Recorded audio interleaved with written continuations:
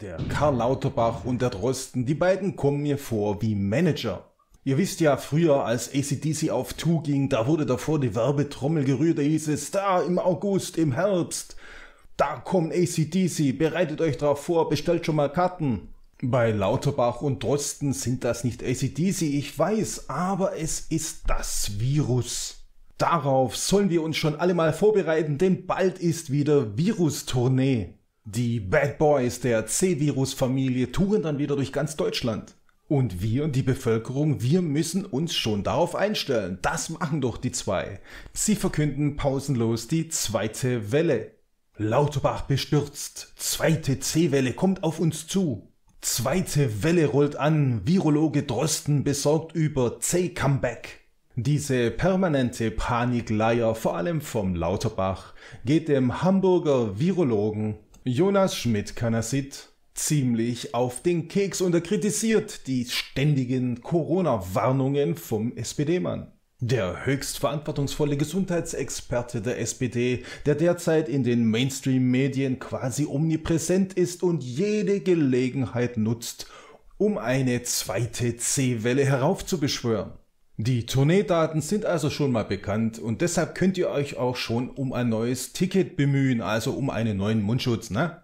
Und der Virologe Schmidt-Kanassit hat auf jeden Fall keinen Bock auf die Tournee und will deshalb auch kein Ticket kaufen, denn die allgemeine Maskenpflicht hält Schmidt-Kanassit für sinnlos. Eine Maske zu tragen würde nur dort Sinn ergeben, wo viele Menschen auf engem Raum längere Zeit zusammen seien.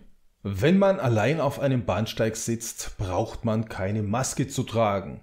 Oh, das ist ja ganz schön verantwortungslos, nicht wahr? Auch von Lauterbachs neuem Steckenpferd den Schmierinfektionen hält Canasit gar nichts. Diese spielen überhaupt keine Rolle, sagt der Hamburger Virologe.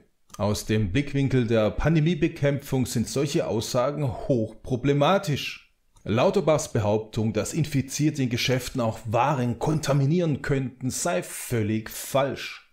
Lauterbachs Äußerungen sind hochgefährlich, laut Schmidt-Kanassit, und er bezeichnet sie als dysfunktionale Dramatisierung. Diese ständige C-Panikmache mit einer angeblich drohenden zweiten Welle führten laut dem Virologen zu einer Daueraufgeregtheit und letztlich zu einer C-Müdigkeit.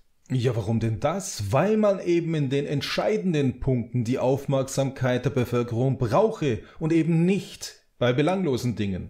Und er fragt sich, ich weiß nicht, warum Lauterbach das macht.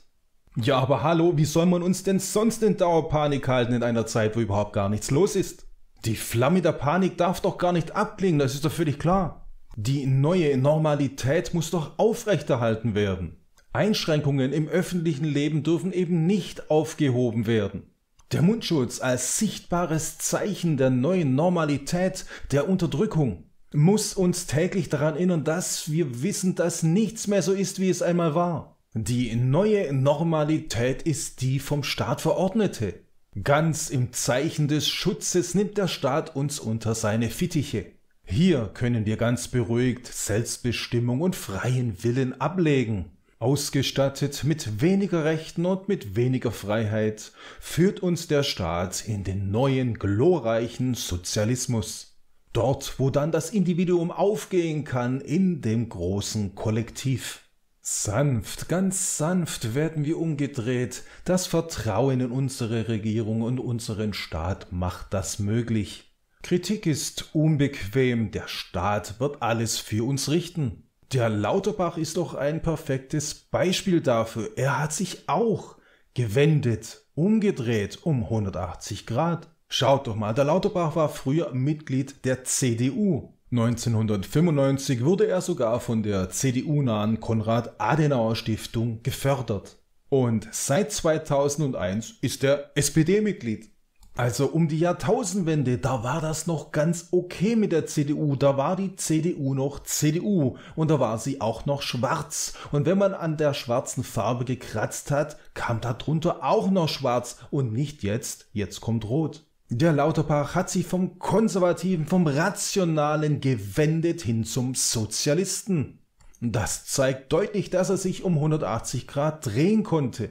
Heute wäre das ja gar nicht bemerkenswert. Heute ist das ja egal, ob ich in der SPD, in der FDP, in der CDU oder SPD bin. Das ist ja völlig wurscht. Oder bei den Grünen ist ja Schnutz. Es ist ja sowieso jetzt gerade alles Einheitsbrei.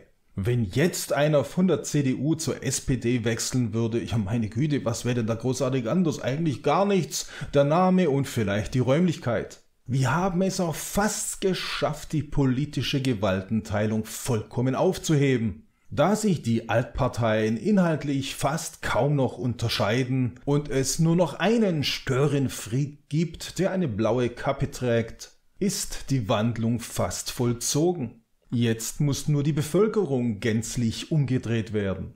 Daran arbeitet man ja auch schon einige Jahre, vor allem die Alt-68er Generation, die Frankfurter Schule.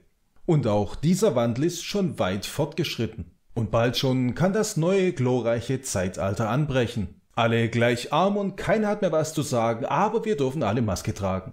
Also umarmt die neue Normalität, an die wir uns gewöhnen sollen.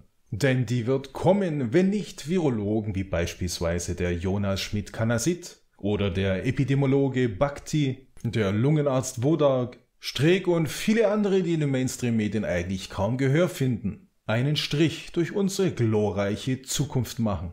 Alle Links zum Thema findet ihr natürlich in meiner Videobeschreibung. Wenn es euch gefallen hat, freue ich mich über Teilen, Liken und ein Abo. Macht's gut. Ciao, ciao. Euer Freifon.